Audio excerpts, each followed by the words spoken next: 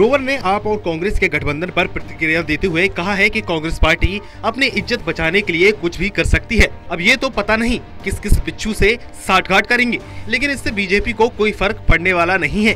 अब कांग्रेस पार्टी का तो पंच सरपंच भी नहीं बचे है। देश में राष्ट्रपति तक हमारा है। जहाँ तक बात है, रोहतक सीट को दो लाख वोट ऐसी जीतेंगे। कांग्रेस के पास मैं आज भी कह रहा हूँ, कोई कैंडिडेट नहीं है, परिवारवाद है।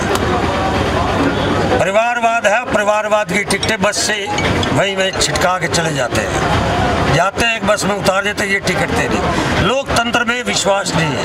कांग्रेस एक क्षेत्रीय पार्टी की तरह काम कर रही है, जैसे क्षेत्रीय दल होता है। उस तरह से।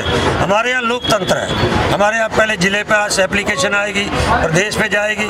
प्रदेश चुनाव समिति बैठती है, उसके बाद केंद्र की चुनाव समिति बैठकर मोहर लगाकर भेजती है। उनके करना इसीलिए कांग्रेस का आज पंच से लेके राष्ट्रपति तक उनका खत्म है।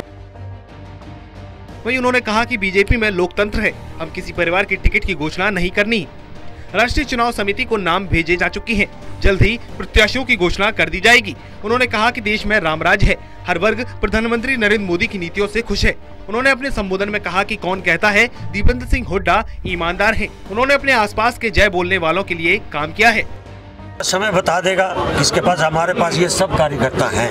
मैंने कहा, वो परिवार है।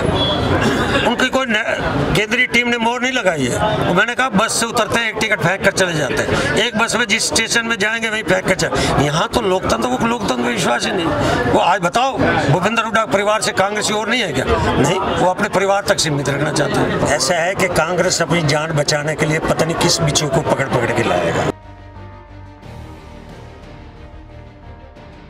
बहरहाल चुनाव का गर्माहट पूरे ज़ोर में है और सभी पार्टी एक दूसरे पर शब्द के बाढ़ तेज़ी से छोड़ रहे हैं।